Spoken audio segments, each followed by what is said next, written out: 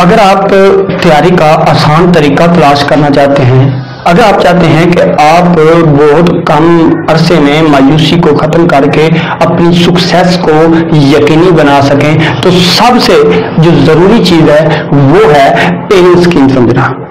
हाँ मैं आपको पहले पेरिंग स्कीम समझाऊँगा, फिर उसके मुताबिक बताऊँगा आप कैसे तैयारी करो। तो बच्चों पेरिंग स्कीम में सबसे जो मेन चीज़ होती है ना वो है शॉर्ट क्वेश्चन तो पहला मैं आपको शॉर्ट क्वेश्चन के बारे में बताऊँगा। अगर कोई बच्चा मार्क्स करना चाहता है या वो पास होना चाहता है तो बच्चों सबसे मेन चीज़ जो है, दोनों चीज़ों के लिए वो शॉर्ट क्वेश्चन है। तो पहला जो शॉर्ट क्वेश्चन होता है ना, उसको क्वेश्चन नंबर टू का नाम दिया जाता है। ये जो है, ये चैप्टर नंबर जो है हमारे पास टेन चैप्टर नंबर इलेवन और ये जो है, ये चैप्टर ट्वेल्व इन तीन चैप्टरों से पहला शॉर्ट क्वेश्चन बनना है। इसमें तीन शॉर्ट क्वेश्चन होंगे, इसमें दो शॉर्ट होंगे और इसमें भी तीन शॉर्ट क्वेश्चन होंगे। टोटल बच्चों, तीन और दो, पाँच और तीन, आठ शॉर्ट क्वेश्चन हो जाते हैं। टोटल कितने होगा? आठ आपने करनी होंगे पाँच। मैं पहले पेयरिंग स्कीम बताऊँगा, फिर तरीका बताऊँगा। तो थोड़ा सा ज़रूर गौर से वीडियो को देखें। अगला क्वेश्चन जो है बच्चों, वो है क्वेश्चन नंबर थ्री आएगा। ये भी शॉर्ट क्वेश्चन का दूसरा पार्ट ये किस किस चैप्टर से बनेगा? Chapter number fourteen chapter number fifteen और बच्चों, ये बनेगा चैप्टर नंबर सिक्सटीन से। इसमें सिमिलर तीन शॉर्ट क्वेश्चन दो शॉर्ट क्वेश्चन और फिर तीन शॉर्ट क्वेश्चन टोटल एट होंगे, जिसमें से आपने पाँच करने होंगे। जो थर्ड पार्ट होगा बच्चों, उसको question number question number four का नाम दिया जाएगा। ये किस किस चैप्टर से आएगा? चैप्टर नंबर आएगा जी हमारे पास थर्टीन चैप्टर नंबर आएगा जी सेवनटीन और चैप्टर नंबर एटीन से। बच्चों, इसमें आएँगे तीन शॉर्ट क्वेश्चन इसमें भी आएँगे तीन शॉर्ट क्वेश्चन और इसमें आएँगे दो शॉर्ट क्वेश्चन टोटल सिमिलर आठ शॉर्ट क्वेश्चंस आपने पाँच करने होंगे। अब बच्चे जो पास होना चाहते हैं, बच्चों गौर करो। आप चाहते हो कि आप सारे क्वेश्चन को अटेम्प्ट करो।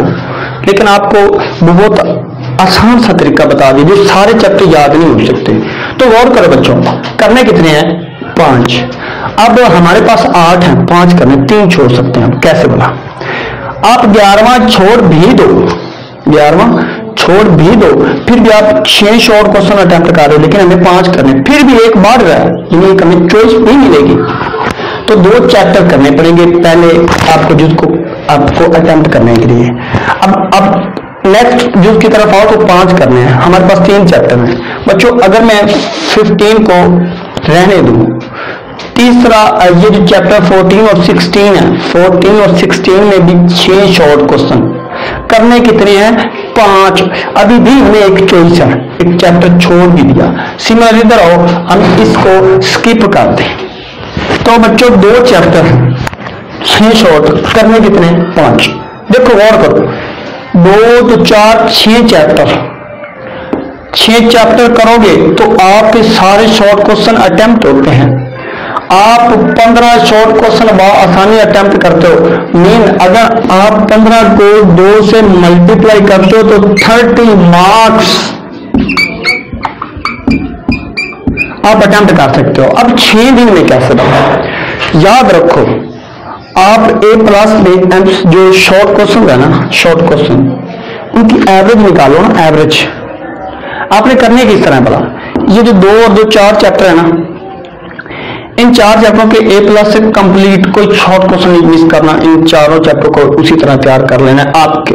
लेकिन ये दो चैप्टर हैं, इसमें आपने ए प्लस में देखना जिसके ऊपर टाइम्स लिखो, दो टाइम्स तीन टाइम्स वो वाले कर लें। ठीक है? तो टोटल एवरेज जो बनती है ना, वो हर चैप्टर से एक तीन शॉर्ट क्वेश्चन की एवरेज बन रही है। तीन या ट्वेंटी की। यानी कि बीस शॉर्ट क्वेश्चन एवरेज है हर चैप्टर में। तो आप क्या करो आप हर रोज एक एक चैप्टर करो बीस शॉर्ट क्वेश्चन सिर्फ़। तो आपके सारे शॉर्ट क्वेश्चन अटेम्प्ट होते हैं। आप तीस नंबर के हकदार पास हो चुके हो। आसानी से। बाईस में पास होता है। सिक्सटी टोटल होते हैं। हाफ़ मार्क्स आपने अटैम्प्ट कर लिए सिर्फ़ छह चैप्टरों से। आसानी। अब दूसरा जुज होता है, बड़ा इंपॉर्टेंट जो अगर बच्चे मार्क्स अटेंड करना चाहते हैं या जो बच्चे हासिल करना चाहते हैं वो। नंबर तो बेटा वो है M C Qs M C Qs M C Qs बड़ा important part M C Qs बेटा, किस तरह डिस्ट्रीब्यूशन होती है? तो जो चैप्टर नंबर हमारे पास है ना जी ट्वेल्व चैप्टर नंबर जो हमारे पास है ना जी 14 और जो चैप्टर नंबर हमारे पास है ना जी 16 इन तीन चैप्टरों में दो दो एमसीक्यू आने हैं। बाकी जितने भी चैप्टर हैं सब में एक एक एमसीक्यू आना है। ठीक है ना? अ, बाकी सब में एक एक शॉर्ट क्वेश्चन आना है। तो और करो। टोटल बारह होने टोटल कितने होंगे बारह होने एमसीक्यूज बारह में से छह एमसीक्यू सिर्फ़ तीन चैप्टर से मांग। रहे हैं अगर आप इन तीन चैप्टरों के एक्सरसाइज वाले और ए प्लस में जो टाइम वाले शॉर्ट एमसीक्यू है वो कर लेते हो।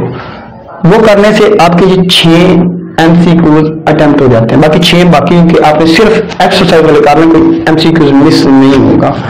तो याद रखें 12 एमसीक्यूज अगर ये आप कर लेते हो तो आपके 40 मार्क्स हो गए। 42 मार्क्स। जस्ट सिक्स डेज़ में आप कर सकते हो। अब इसके बाद जो काम है वो आउटस्टैंडिंग स्टूडेंट्स या एवरेज स्टूडेंट जो कर चाहते हैं कि कुछ इससे ज़्यादा 50 के करीब आ जाए 60 में से तो वो चाहे एक शॉर्ट क्वेश्चन एक लॉन्ग क्वेश्चन का पार्ट ज़रूर हल करें। एक पेयर अब मैं आपको उसके बारे में बताऊँगा, लेकिन फिर बाद में बताऊँगा कि जो बच्चे चाहते हैं हमारा लॉन्ग नहीं सुनाओ आउटस्टैंडिंग मार्क्स 60 में से 60 हासिल करना चाहते हैं। तो बच्चों, ये लॉन्ग का पार्ट उनके लिए बड़ा ज़रूरी है। ये लॉन्ग पार्ट उन क्वेश्चन के लिए, उन बच्चों के लिए मेरे बच्चों, बहुत ज़्यादा ज़रूरी है। पहला जो लॉन्ग क्वेश्चन का पार्ट होगा ना, वो आना है आप उसका ए पार्ट हाँ हर लॉन्ग क्वेश्चन में दो पार्ट होते हैं। ए पार्ट भी और बी पार्ट भी। ए पार्ट जो होगा, वो आएगा चैप्टर नंबर दस और चैप्टर नंबर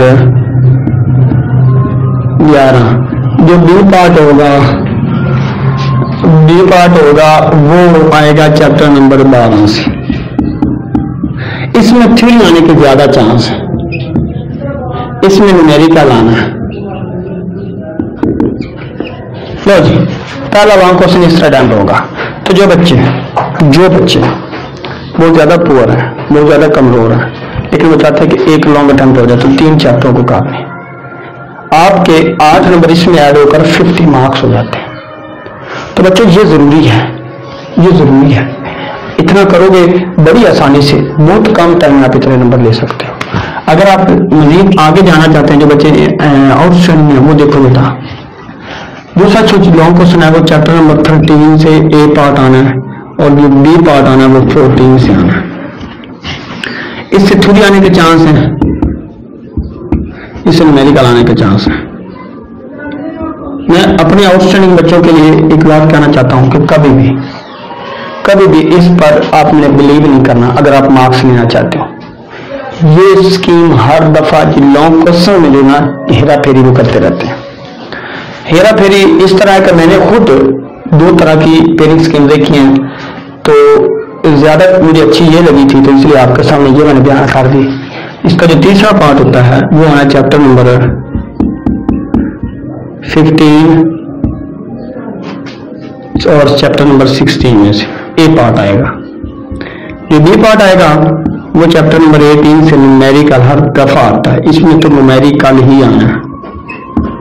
इसमें लॉन्ग यानी कि थ्योरी आने के चांस भी आ रहा है। तो बच्चों, बड़ा आसान, इधर से हमें स्केच मिल जाता है किस तरह हम तैयारी करें। तो मुझे उम्मीद है आपको मेरी बात की समझ आई होगी। अल्लाह हम से